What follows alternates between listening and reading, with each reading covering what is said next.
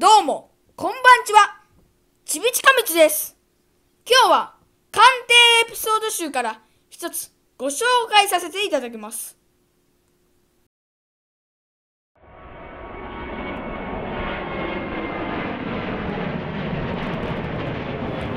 依頼者は、のぞみさん。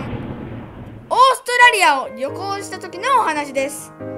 オプショナルでスカイダイビングをしました。その時、小型飛行機から一緒にダイビングをしてくれたインストラクターを好きになってしまいました。ええー、異国の地で現地の人を好きになるパターン、たまに耳にしますよね。僕のクラスではそんなこと聞かないけどね。彼の名はブライアン。背が高くてハンサムな彼にアテンドされながら飛行機に乗りました。飛行機が上昇するにつれ、のぞみさんの気持ちもどんどん高まります。ダイブするのをためらうと、彼は後ろから笑顔でのぞみさんを抱え、ギュッとしてくれました。いきなりのハグ。これはドキドキしますよね。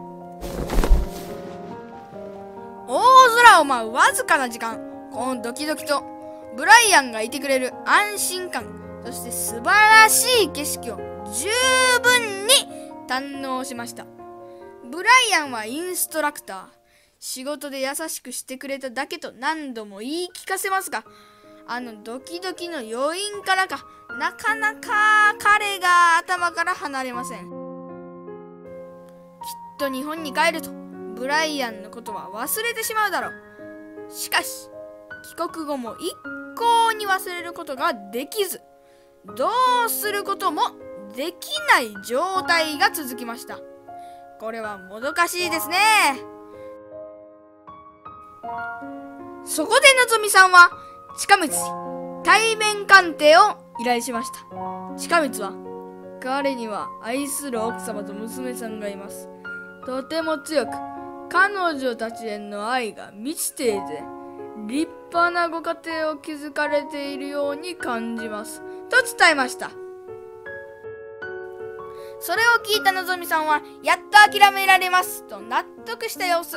ずっと心から離れなかったブライアンが、スーッと体から抜け、オーストラリアの楽しかった思い出の一つに変わりました。一見ちょっとしたことでも、自分自身にとってはとても大きな出来事で、分かっているけど、誰かに後押ししてほしいことってありますよね。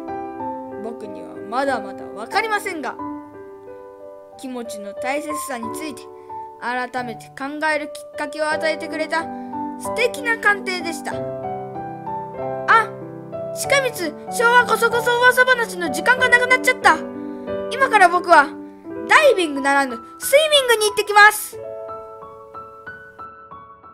それでは皆様、またお会いしましょう。さよならすべては他者のために。